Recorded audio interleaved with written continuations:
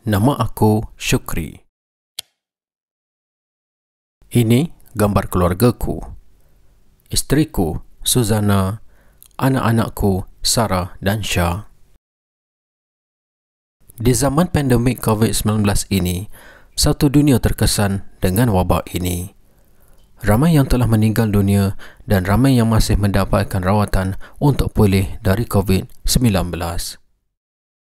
Tetapi, aku ingin berkongsi kisah kehidupanku yang telah merubah segalanya.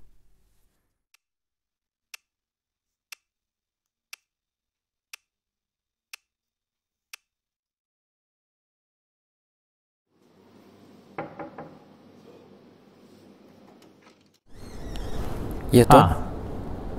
Kamu Syuk. Kamu tahu tak kenapa saya panggil kamu ni? Kenapa Tuan panggil saya ni? Ada apa-apa masalah ke Tuan?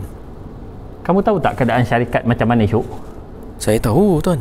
Kita ni walaupun dalam keadaan bertahan tapi tetap masih berkira-kira tau. Ya Tuan. Macam-macam aduan saya terima. Ha? Prestasi kamu, cara kerja kamu, Aduan? susah Syuk. Macam ni lah Syuk. Ya Tuan.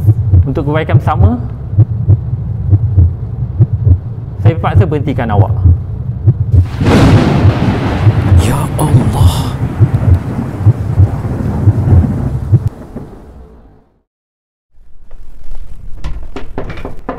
Ya, masuk. Assalamualaikum. Waalaikumsalam. Ya Fazrul. Ni suap untuk awak dari Cik Azman.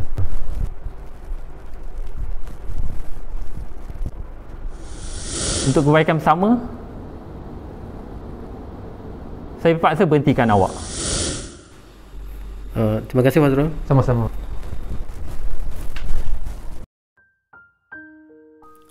Hari terakhir aku bekerja, aku amat buntu.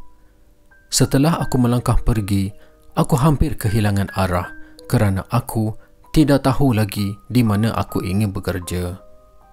Kemudian, aku fikirkan positif. Allah telah tetapkan rezeki aku. Insya-Allah, rezeki itu ada di mana-mana. Isteriku kini bekerja di Kuala Lumpur.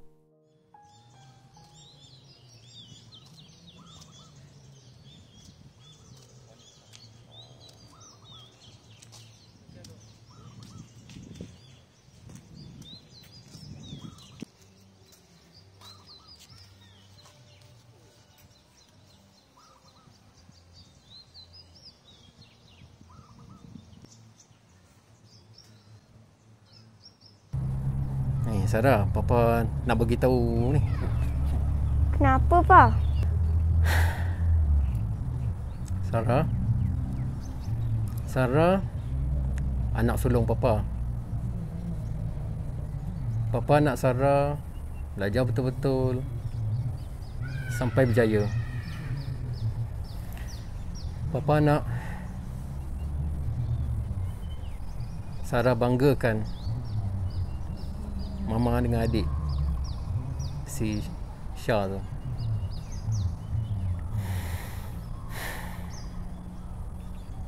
Ingat pesan papa eh?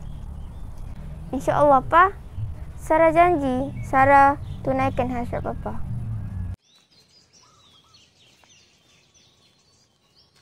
Ha, ni papa nak beritahu. Tiket bas papa dah beli untuk Sarah balik nanti. Ha, tapi itulah macam biasa. Kalau PKP lagi, jawab dia, duduk kat rumah maklong lah. Okey? Okey, Pa. Terima kasih.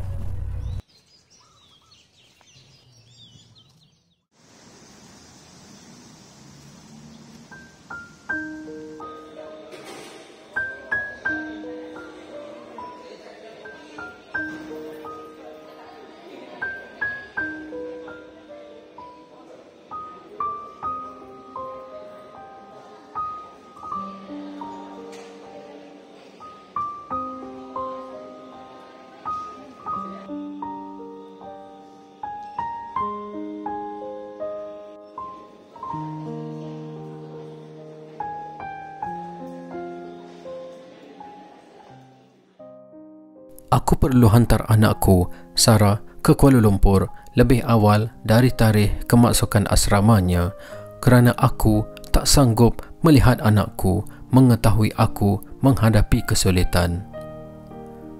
Sebelum masuk asrama, Sarah akan habiskan cuti di rumah maklongnya iaitu sepupu aku, Kak Katie. Pada PKP 1 yang lalu, Sarah juga telah tinggal di rumah maklongnya.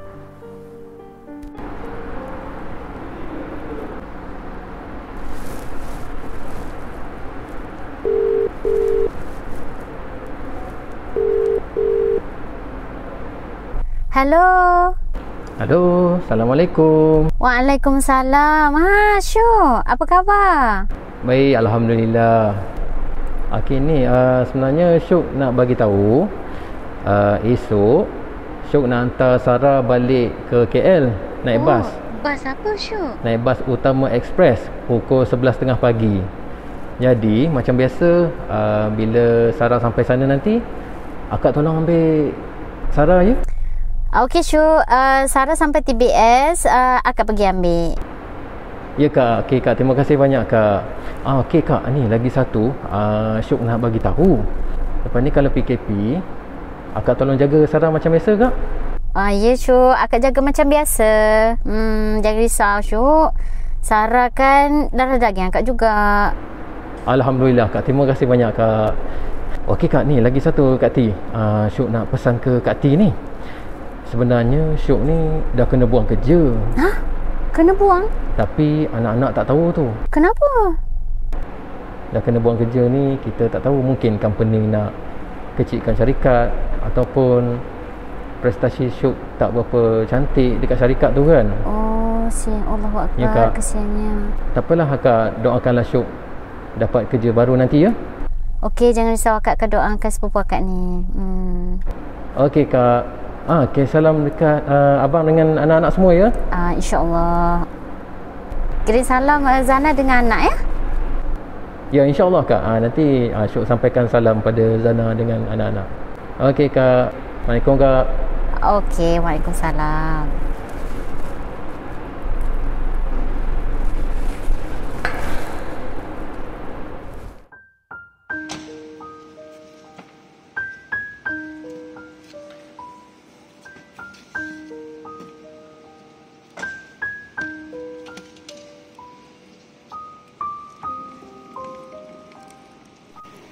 Sarah, Papa minta maaf kerana terpaksa menghantar Sarah ke Kuala Lumpur lebih awal dari tarikh asalnya. Papa mohon maaf sebab Papa tak beritahu perkara sebenar kerana Papa tak nak Sarah melihat kesusahan Papa di sini. Semoga Allah melindungi puteri sulung Papa ini walau di mana jua Sarah berada.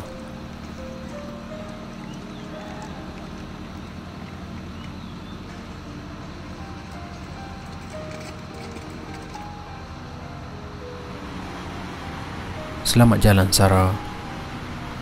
Papa sayang Sarah.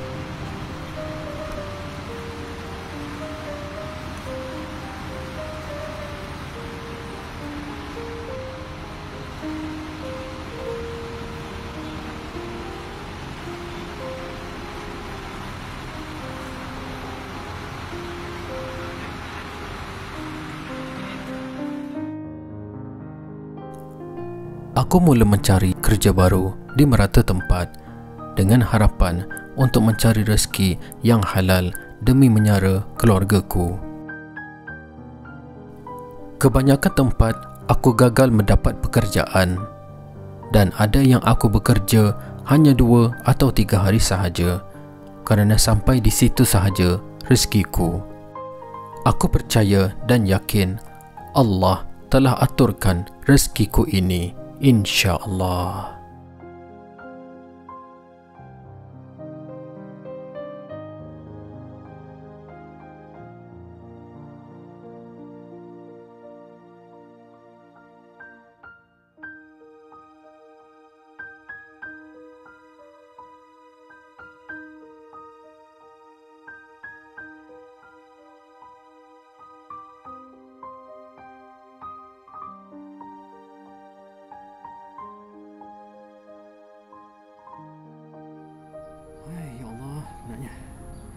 Ah, kejap, kejap, cik. Kejap, kejap, kejap. Ah, tunggu, tunggu.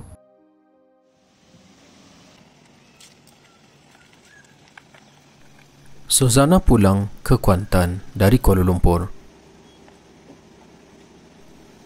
Firasatku merasakan apa yang ingin disampaikannya.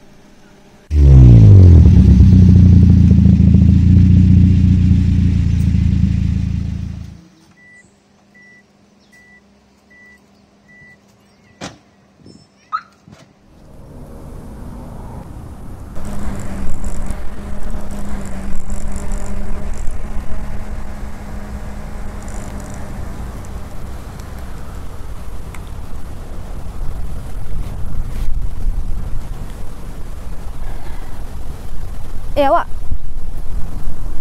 Sampai bila ya awak nak menganggur ha? Cubalah cari kerja